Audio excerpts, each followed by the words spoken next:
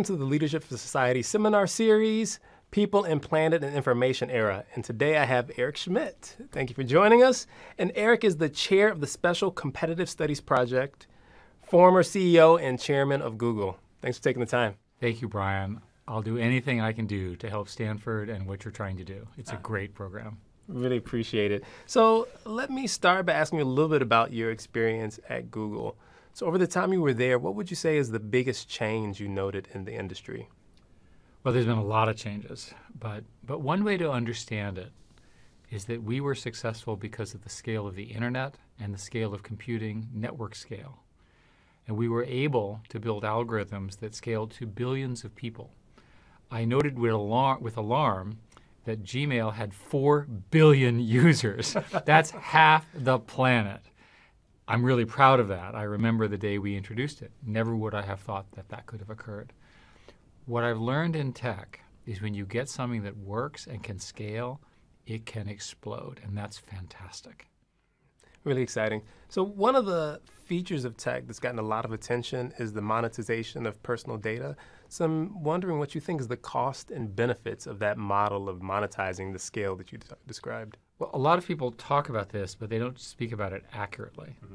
So the first question that I would offer is if you have a free service, somebody's got to pay for it. Now you can have philanthropists, you can have the government, you can have advertisers or what have you. At Google, we were extremely careful not to use your personal data to sell it. There are other places, some social media, for example, some other search engines try this. It doesn't typically work. People value their privacy. So you've got to find a way to find affinities, you know, this group and that group without violating people's personal lives, their location, and that kind of stuff. Mm-hmm. So the way I understand it, so I, correct me if I'm wrong, is that once people are providing this information, what they're searching for, or on social media, what they look at, it's a way of identifying their interests to keep them engaged.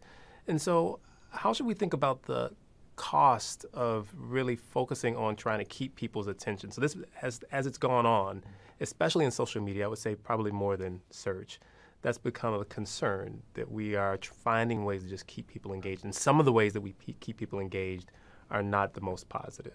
Well, 20 years ago, we fought this question about personal information and search. And we ultimately compromised in the sense that the regulators required a certain amount of retention of information about your searches. So, for example, if you were a bad person, they could get a subpoena and that sort of thing. But in general, your searches are forgotten after a while, which is a good compromise. In social media, you have a different problem that I don't think we understood when social media came out 10 years ago. What happens now is that the AI algorithms are so good that they can find people just like you and connect you. Hmm. Now, these are not people that you would meet in normal life. They're not, they, they, don't live near you, they don't go to Stanford, they didn't go to the same college, you don't know them, they're not friends, and so forth. And it creates these affinity groups which connect, for example, horrific people together, mm. right?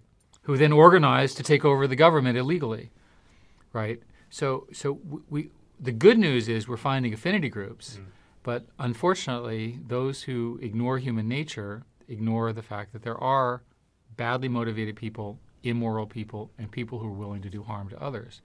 And so the problem with social media is it's both doing amazing work, collecting people who, all the standard stories of people who are suffering from some disease and building communities, entertainment communities, childcare communities, all of that's all true, but it's also having this effect as well. Mm-hmm. So I'd love to think about the responsibility that companies should have for that. And I actually am going to pivot a little bit, not just to talk about the data we have of people and the ability to create these affinity groups as you described, but uh, a large percentage of people get their news from social media now. So, according to a Pew study in 2021, about half of Americans get news on social media at least sometimes.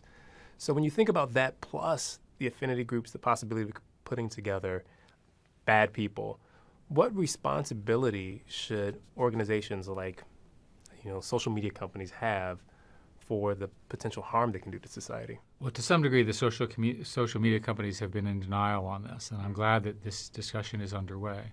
So let's start with some principles. I was brought up to believe in the legitimate institutions of government and the media. In my case, I grew up with two television channels, and there were only two, and you were told to believe them. Today, there's a lot of evidence that people prefer to trust their friends over institutions. And they've chosen to define their friends as the people that they are friends online with. And that is the basis of the current problem. So, in other words, if you fundamentally, for whatever reason, have been taught or believe or correctly believe or incorrectly believe that the government and the legitimate institutions of the news are out to get you, you can't trust them, mainstream media, what have you, without a critical eye, you just agree with that, then you trust people like you. Then the algorithm finds people like you, right?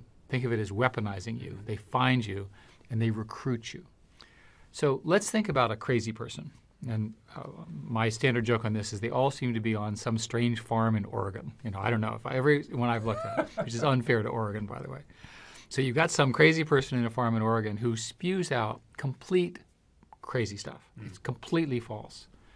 Well, with President Trump, it was one stop from that crazy person to President Trump retweeting that crazy person's thing and legitimizing it. So he should be held responsible, in my view, for spreading misinformation that he should have known better. That's my personal view. But now, what really happened was actually slightly different. This crazy person would tweet something. I'm using tweet, but Facebook, uh, uh, I'm just using it as a metaphor. They would publish this information and it would sit around and then it would go viral in the sense that the algorithm would discover that it was interesting and the algorithm would boost it. Mm. So, one way to say it is a different way of asking this is say, Eric, what do you believe in terms of speech? I am absolutely committed to free speech by adults. And I define that as you get to say what you uh, say, even if I disagree with it, and I have to at least acknowledge you have the right to say it. I do not believe in boosting of said speech without liability. So the problem is that the platforms are, are also responsible for the spread of the misinformation. Many of them have been in denial on this, but the fact of the matter is their algorithms are so good mm. that they find something, and we know, for example, that emotional content is spread seven times faster than reason content. Let me say it emotionally. I want my country back. I thought my country was a country of reasoned discourse, good arguments, strong principles, fights around uh, greatness. And instead, it's turned into crazy person, rumor, falsehood, misinformation. I want to go back to the earlier model.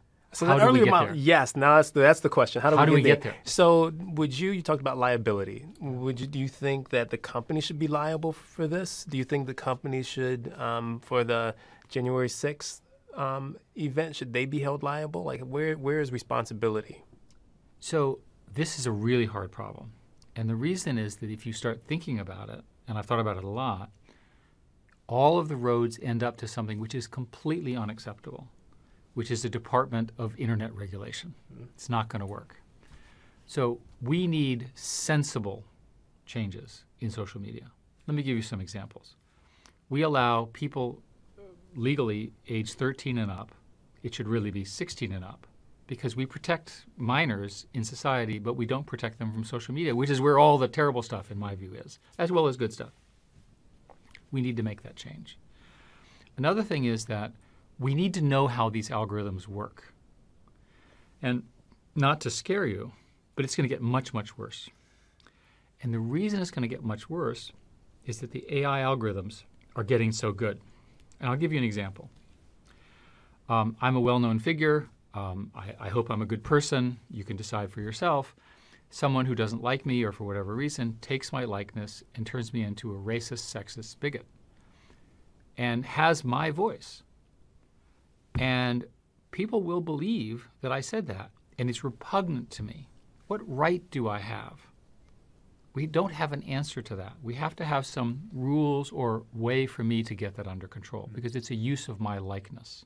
It's worse in commercial speech. If it's interesting that in social media, most of the revenue comes from advertisers, and advertisers are intelligent, and they don't want to be adju- uh, to be adjacent to this kind of hatred. Mm. So one way to say it would to say that when you have a, a, a feed that is supported by advertising, you have a commercial responsibility to the advertisers and that they can push back on the platforms. These are examples. If you know who's on the platform, another thing we don't know, using various forms of ID verification, both for age but also are they. And by the way, I'm not suggesting the end of anonymity. Um, I think anonymity is very important. Do we still have anonymity? Well, we do in the following sense. Um, when you get on an Uber driver, when you get into an Uber or, or Lyft or what have you, do you personally know the driver? Have you met the driver before? Typically not. Mm-hmm. In fact, I seldom know the, the real name of the driver, but I trust that that driver, man or woman, has been uh, validated, secured, investigated, what have you, that it's a trustworthy momentary interaction. I think that we could build algorithms in social media which allow you to have the anonymity, which I think is important for privacy and for the ability for speech and to say what you think, especially in cases where you've been victimized, mm.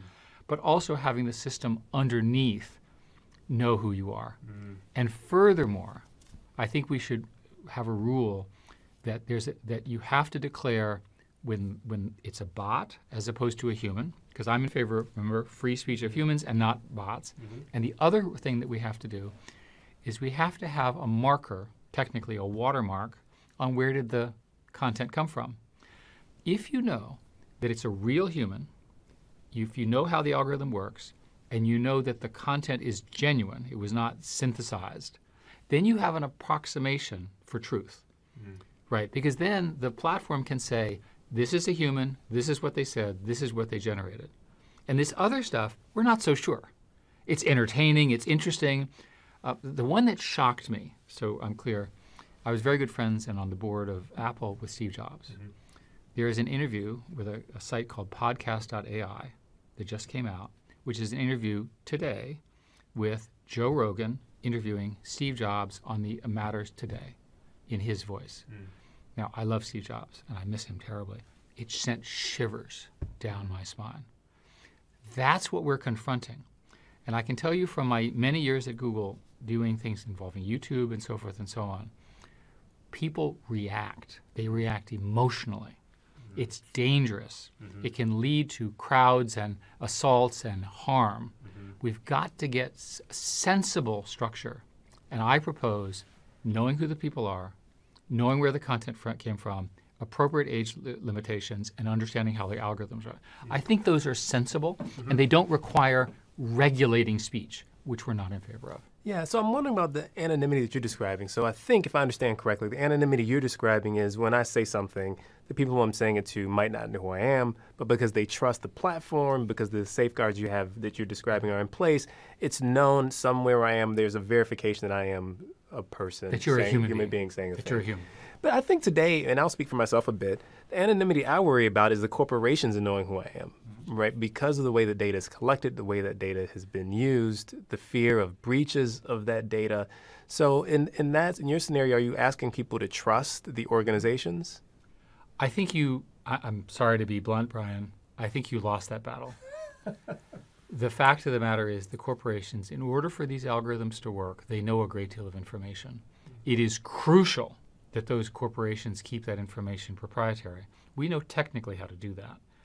Um, and if a corporation were to violate your trust in the way that you're describing, there should be penalties, uh, financial penalties. You should leave the platform. There should be regulatory penalties. When I was running Google, I always worried that there would be some data breach, thank God there never was, mm-hmm. that would harm people in the way you're describing. Sensible leadership understands the point you're making and they can put the protections in place. And what role does government have in this? So the way, I mean, thus far we're talking about it as the organizations should put these safeguards in place. They have the technical ability to do it, but it seems like every other day there's a breach, yeah. right? And and so I wonder how much faith we should put in organizations, and where is the role of government in what you're describing? I'll now show you my own prejudices. Um, when you look at the really top technical companies, the, the really well run ones, which include Google and its competitors and so forth, you don't have those breaches. The cost to them is too high, and their engineers are really good. The breaches that you're describing are from systems that were built a long time ago in technologies that aren't very good. They're running down rev platforms, and you have to assume Um, you see this in the government all the day. Most of the government systems you have to assume have been breached because the government is quite incompetent building powerful new platforms. They're just not good at it. And unfortunately, I'm sorry to say this, I think your primary danger is your government information getting leaked through some sort of Chinese or adversarial attack, which is obviously not okay, and the liability is high. Um, I've been involved in a number of, of an analyses of these breaches, um, and when you have a, a leadership which is sort of asleep at the wheel, they grow up really fast when this happens, and they do, in fact, put the safeguards in place. Mm-hmm. And so, what should the relationship then be between government and these kind of private tech companies? Well, it's easy to complain about the private tech companies, and um, let's break them up. They're too big. They have too much power, but they're, as a general rule, honest, well run, and they do what they say. And the reason that they're honest and well run and do what they say is if they don't, they get sued to death. The board of directors gets sued. The, the CEOs get sued. So if you propose regulation, then do so in a way in the spirit of making it better. There's no question that there's content that is bad, mm. harmful. Try to write down the rules. I've tried to do this. Mm. So let's say we I don't like this kind of thing and this kind of thing and this kind of thing, and I write it down. Okay, now this is a democracy. Do we all agree? By the way, the great news is we all agree against child porn.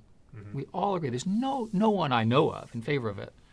But write it about adult porn, you won't get agreement. Write it about drugs or alcohol or other controversial things.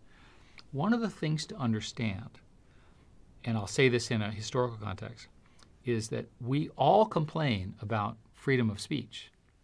But the fact of the matter is, freedom of speech is at the essence of how America works. Mm and the complicated trade offs. I, I, was not aware of all the restrictions on speech. It turns out that you can say some things, but there's plenty of things you can't say. Right? You can't threaten people. You can't threaten to kill them.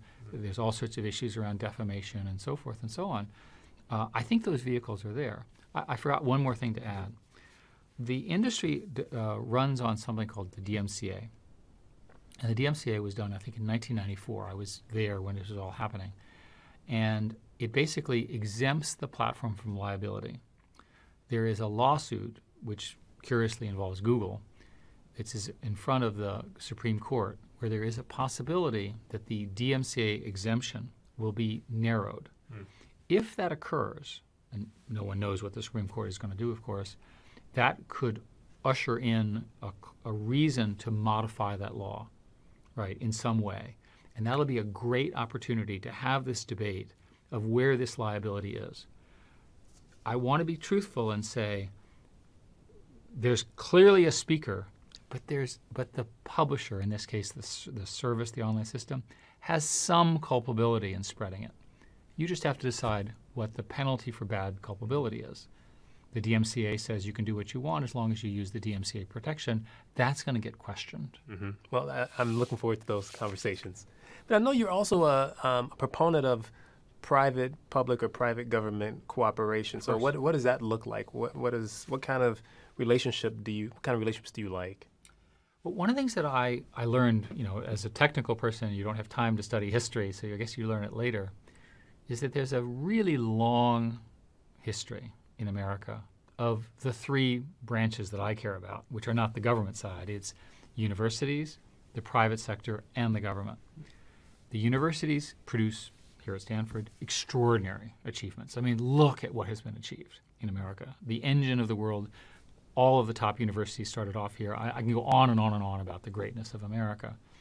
Look at the business side, venture capital, the extraordinary creations that have occurred, which I've benefited from. And look at good regulation from the government. As an example, let's look at Operation Warp Speed.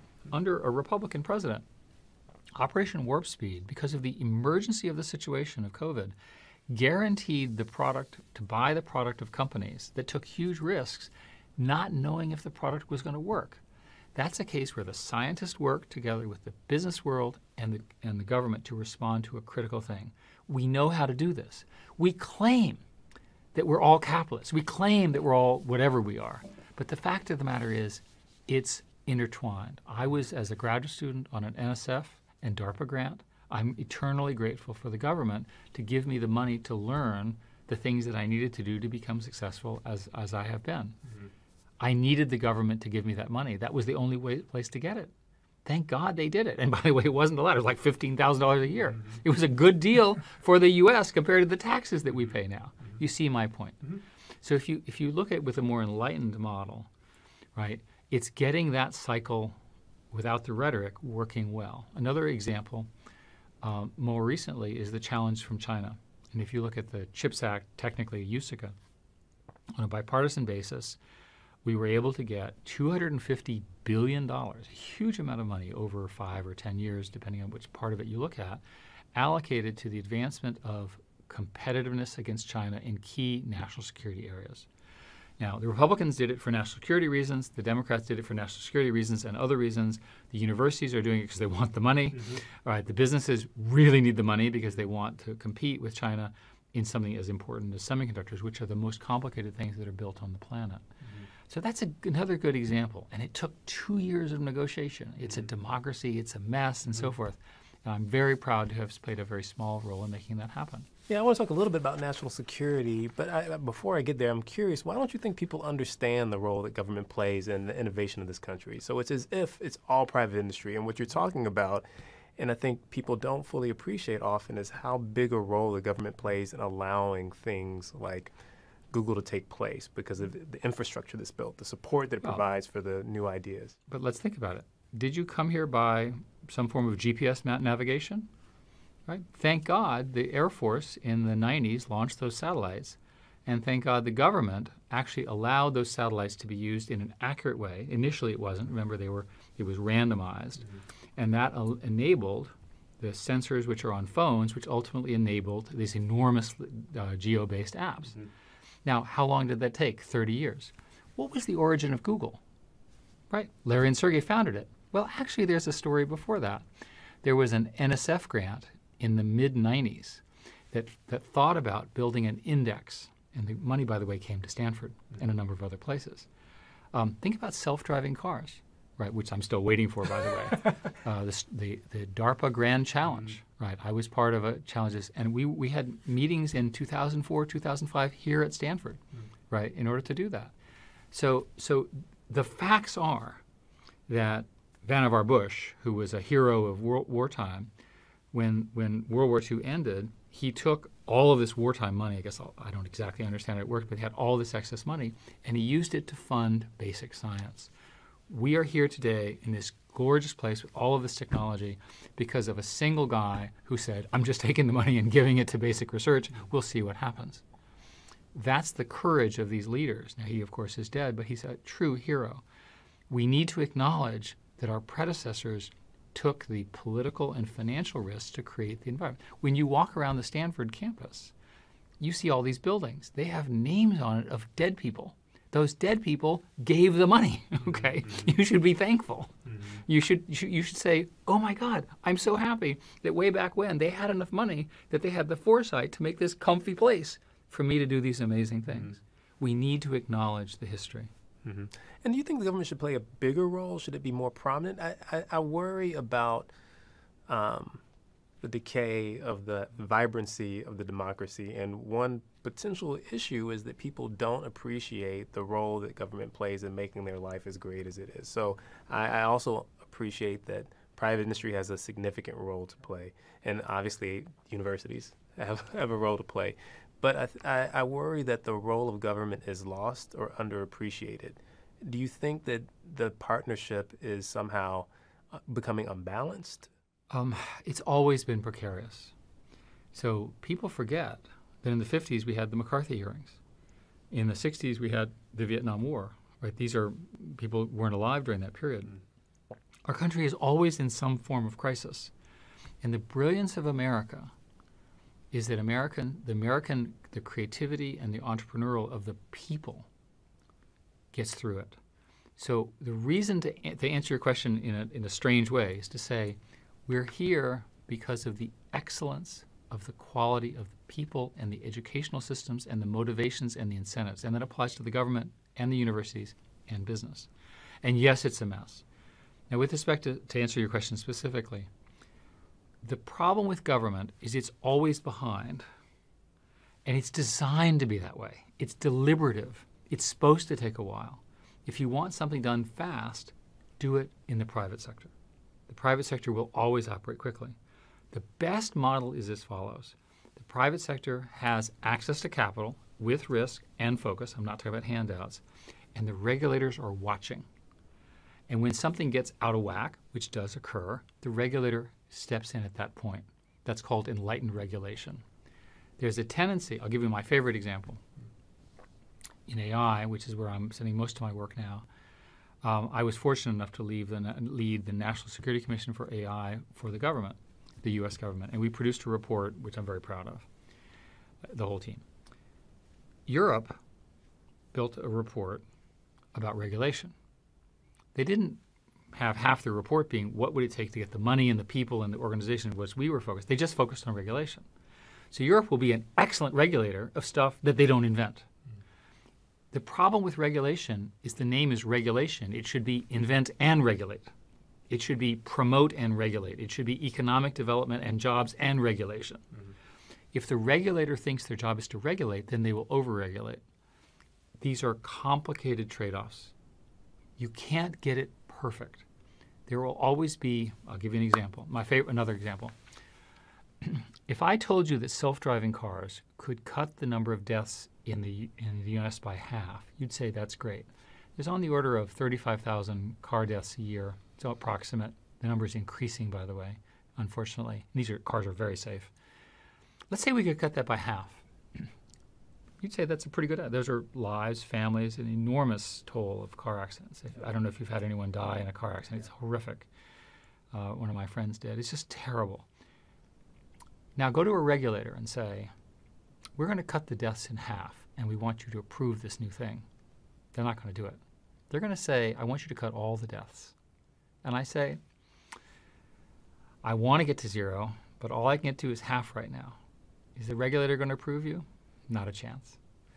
It's a case where you have a false trade off. Mm. If the goal is to reduce deaths, just use deaths as because that's obviously terrible we're going to reduce deaths, then it's different from we want to eliminate them. Obviously, we want to eliminate them. The way we eliminate them is we reduce them. Mm-hmm. If you had a zero tolerance policy for deaths in test pilots, you'd never have airplanes. Mm-hmm. Now, obviously, it's horrific, right?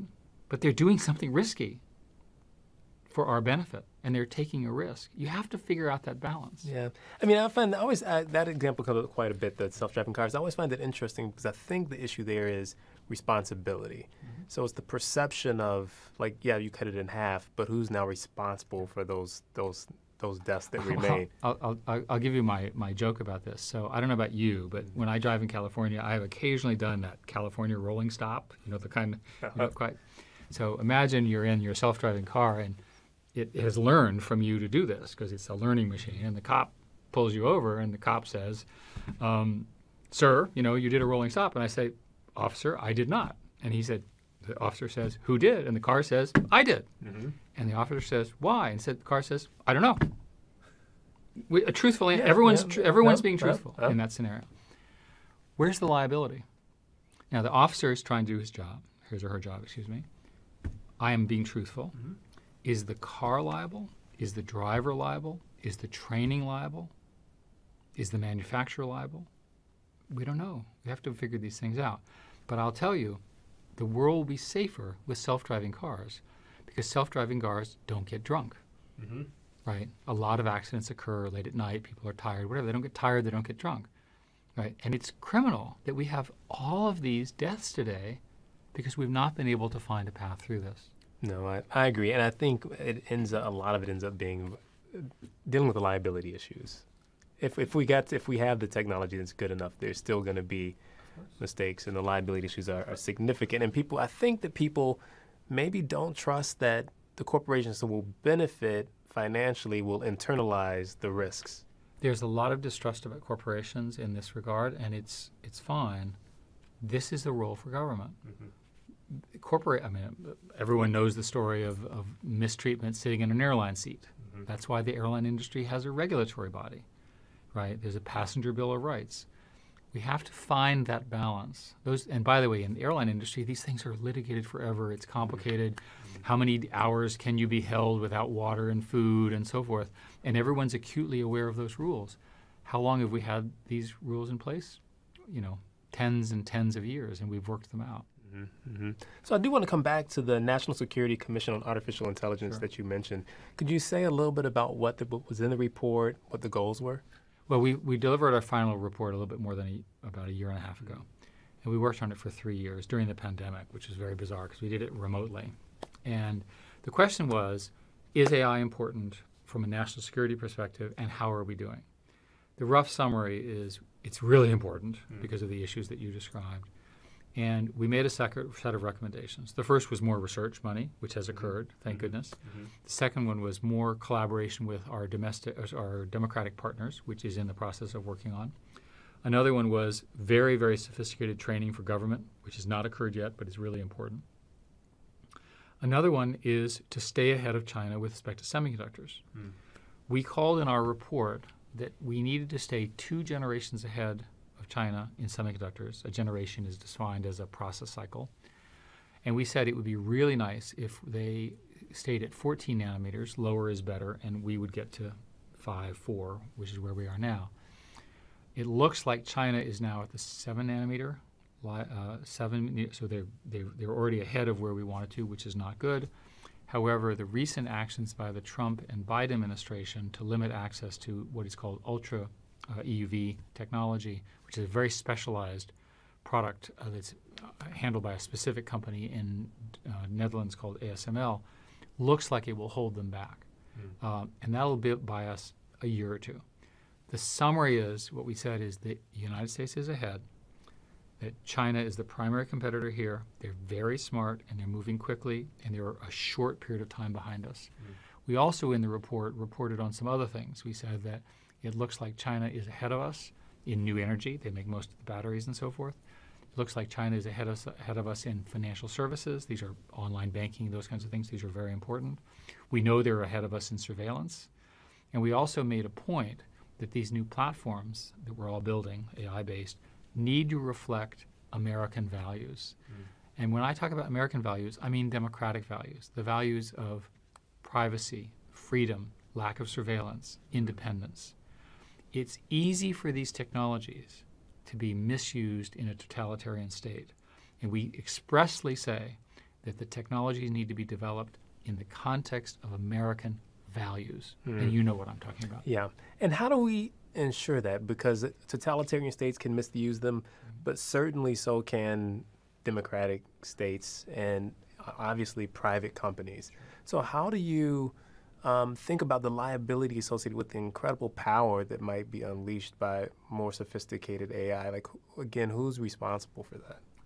Um, I'll, I'll give you a, an example from a long time ago. One, an engineer came in and said, Well, I figured out a way to predict where your friends will be and show you when you're going to meet. And I said, Oh my God, you're tracking everyone. and, and at the time, Larry and Sergey were having fun with me, and they said, Oh, that's a great idea. They were joking. And we eventually solved this problem by allowing you to misstate where you are, where you were. It allowed the system to be inaccurate with respect to something as sensitive as your location. Now, this is again a long time ago, but it's an example where if you phrase the question correctly, you can solve it. Private companies, in practice, do know where you are. Uh, uh, I'm sorry to say that the telephone company, because of 911, knows exactly where you are, but that information is highly regulated. And I think we'll say the same thing here. This is a case where things involving your person, your identity. Uh, another example is face recognition is largely illegal in Europe and in a number of states in America it's illegal and as you know it's commonplace in China. Face recognition very very dangerous if misused for obvious reasons. Stalk, think about stalking alone. And so I, I, I love the example of um, when they came to you and said, "Hey, we're going to give this, pro- we're going to make this program. It's going to tell you where all your friends are and when you're going to meet." One, I love the story that you didn't want that to happen, like you're hiding from your friends. but more, when you think about that going forward and what can be produced, I mean, you described it as you, you three in the room and figuring out how not for it to not be damaging. But what happens when that, that person is not in the room? What happens when this private company sees immense possibility financially in, in doing this. I guess are we relying on the good intentions of private industry No. here? We're, we're, we're, we're we're relying on the democratic system, regulation, and lawsuits. I can assure you that if somebody brought out a tool in America that had inside of it surveillance of the nature that you're describing, they would be sued to death. Hmm. There is a great concern over Chinese products in America, which may or may not be doing that. There's enormous concern, regulatory concern, political concern over mm-hmm. that. I don't know if it's true, but I think the good news about the concern you're at is it's a well expressed one. Mm-hmm. I'm much more concerned about the ones that we don't know are coming. The- my favorite example with this is I did not understand, I, Eric, did not understand that the tribalism that occurs because of social media matching would become as powerful as it is. And I'm not making a political statement. This is true on the left and the right, every race, every sex, every every people. We're all at some level guilty of tribalism. Do you know why? It's in our nature as humans. We try to overcome it. I want to be a great American before I'm a great whatever I am. But I choose that and I want that back. Hmm. And I wonder if we're on our way back to that, and how do we get back there? Is it the again? I'm, I'm what I'm really so interested in in all these issues, all these topics, is the relative responsibility of private industry and the government, and um, the power. It's not just responsibility, because we can say as a people the the responsibility lies here or there, but where's the power lie? Who's making those decisions? Well, in our system, the companies have a lot of power, but the powerful companies have a lot of detractors and a lot of people looking at them. I was fortunate to work with two principled founders. We spent every day talking about these questions at the time as we worked it through, and I'm very, very proud of them for founding the company with those values. Now, you can debate them, but from my perspective, the values were set, and we had, we had a principle of do no evil. Mm-hmm. Now, there wasn't a book that said what evil was, but the principle allowed people to say, I think that's evil. I remember I thought it was a joke, you know, marketing, you know, you know how companies are, they have slogans. And I'm sitting in a room in the tiny little at the building when Google was founded. And this particular engineer, there was a proposal which at the time involved mis- reusing the advertising money in a particular way. A small company. He pounds his table like this and he says, "That's evil." And I go like, "Oh my God, an evil, uh, you know, evil appearance."